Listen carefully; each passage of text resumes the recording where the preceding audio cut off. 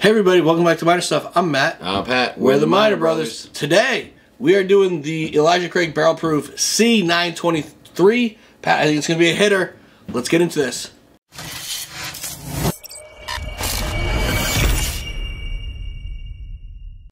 Welcome back, everybody. Before we get started, please subscribe to the channel if you haven't yet. Like this video, drop some comments down below. Don't forget to check us out over on Patreon as well.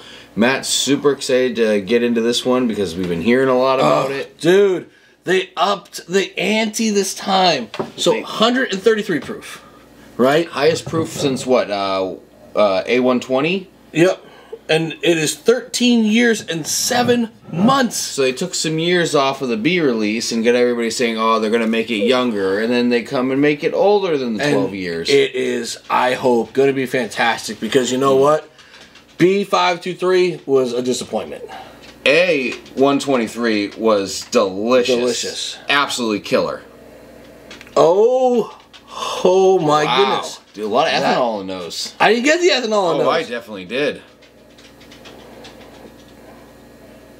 Give it a good spin job. I'm not getting a lot of ethanol. It's not like punching me in the face. What was one of the last bottles? I can't even remember because we've been reviewing so many lately that will be coming out on on videos. But we did another one lately, and it wasn't that high proof, and it was like hitting you in the nose with ethanol.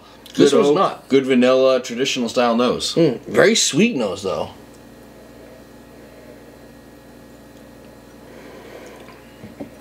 I'm getting like a little bit of like a cherry note on the nose too. Some nuttiness. That's pretty good. You feel the heat, but not super, super Kentucky hug.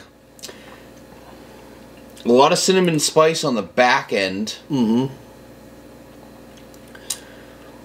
I'm getting a lot of nuts right up front. More of a Sweet caramel. Really sweet caramel Oh, with I'm it. going back and forth between like a walnut or a pecan on the. Definitely got some nuttiness to it too.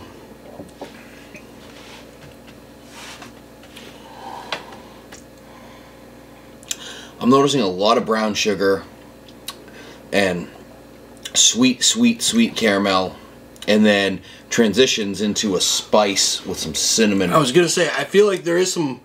I'm gonna hit of like some rye spice in here. yeah, it's Um, this thing is drinking hot, but you know what? I'm loving it. One, two. I think once it opens up a little bit, you know, from the neck pour, I think this thing is gonna be like absolutely insane. I think A123 smoked it. We're gonna have to blind all three of them, but I'm telling you right now, A123 is gonna take it. This is good. This is good, but it's not super, super great. I think this beats out A123. I'm gonna disagree with you. I mean, it is like you said. Once you get past how hot it is, this thing is hot. It's gonna punch you in the face with some heat. Yeah, it, oh, it's got it. It's got Um, the spice on the back end. Too much. Yeah. Oh, this thing is good though. I would like to just chill it too, like on actual like rock, not do like ice or anything. Yeah. Do an actual rock, so I'm not diluting it. I'm just taking the temperature down some. I bet this thing would be freaking nuts. In fact, I'm going to be trying that tonight. Yeah, A- absolutely fantastic release by Elijah Craig. We'll start. We'll They start they right redeemed themselves from B523. Yeah, hundred percent. So I think this one's better than A123. He's got the other one.